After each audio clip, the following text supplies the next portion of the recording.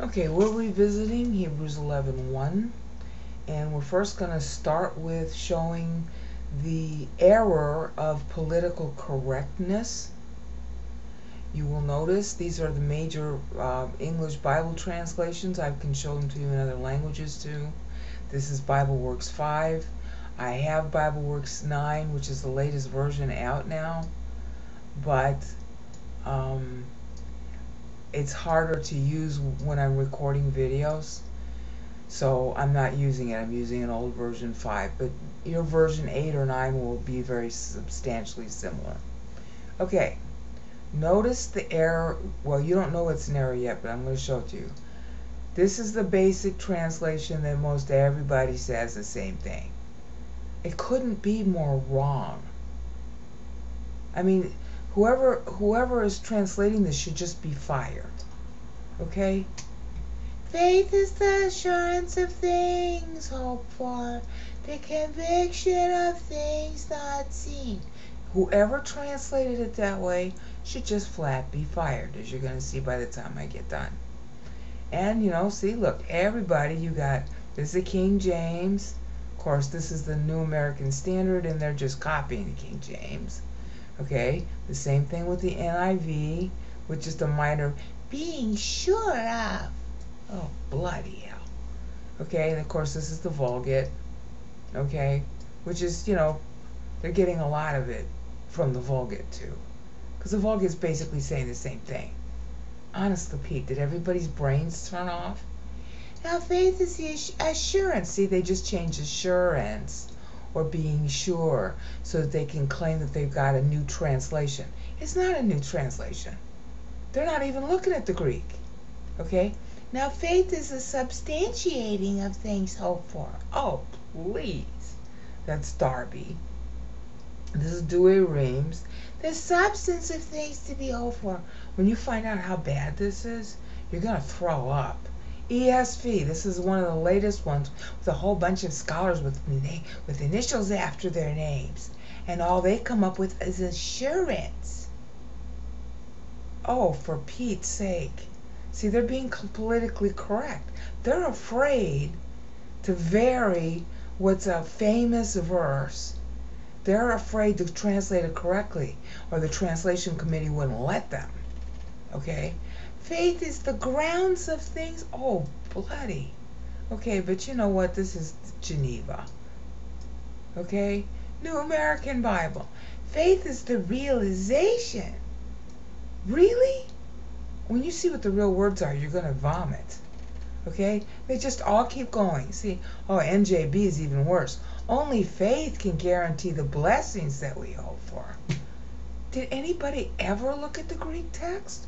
Or did they just copy the text that they had in translation before and change a word or two so they could claim it's a new translation? Okay? See, they all say the same thing.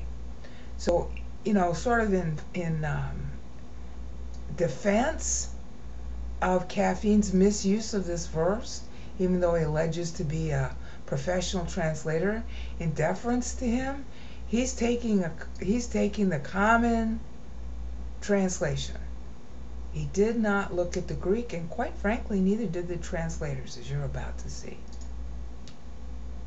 Hope you did your study on subjective and objective genitive, because that's where we're going to be going now. Okay, Estinda is how the sentence begins, and the easiest translation for that in modern English would be, it's about. Okay?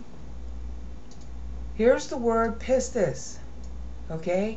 It means what is believed. The content of a contract. You will find that in Big Kittel, which is otherwise known as the Theological Dictionary of the New Testament, edited by Gerhard Kittel. You can get it from Logos for about $250 software, or you can buy, I think it's like 11 volumes, I forget how many volumes now, for about 500 bucks on Amazon. Okay? First meaning, that which evokes. It's an objective meaning. Passive, it's called, usually by scholars, it's called passive use of the Greek word pistis. It's referring to the content. Your trust and faith is a result of the content.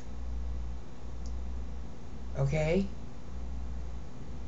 Second meaning, the state of believing on the basis of the reliability of the one or the thing trusted. See, the active meaning of pistis is a state of believing. So the question here that a real scholar should have been asking from the get-go is, okay, well, which meaning of pistis is this? Passive, the first meaning in Bauer Danker, that's the lexicon here. That which evokes, meaning the object. So therefore, is it the passive meaning, the object, the content, or is it the active meaning, the fact of your believing? Which of the two meanings of pistis applies in this verse? That's what a real scholar should have asked. Well, the text tells you which one. See? Pistis, that's nominative singular. Now, the next word is a verbal, verbal participle and it's elpizo. Elpizo is a famous, famous, famous Greek literature word used by Plato in the Philebus. It is specifically used in Greek philosophy for confident expectation in the future. So it is another word for what? Believing.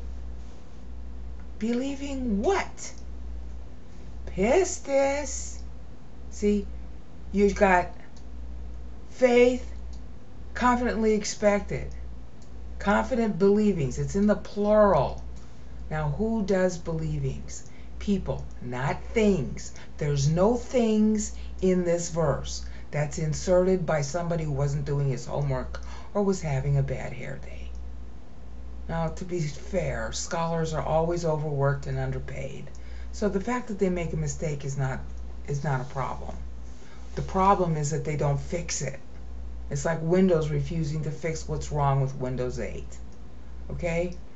Pistis, therefore, has to be the objective use because this has to be an objective genitive because believings, literally, confident expectings would be more literal, that has to have an object, right? If you are confidently expecting, the next question somebody would ask is, what? The what is pistis. This is an objective genitive, plural. Not of things, of people. Only people have confident expectations. Things don't have any expectations. Things don't have any thoughts. Things don't have any life. So it's word. See, the content of what you believe are words, right? And the original word for pistis is the content of a contract on deposit in a temple. It's a commercial word, and that is documented in TDNT, aka Big Kittel, the Theological Dictionary of the New Testament which I can't show on screen because it's copyrighted. As far as I know, the copyright doesn't allow me to show it on screen. Whereas with Bible Works, it's on screen, so I'm already proving the source.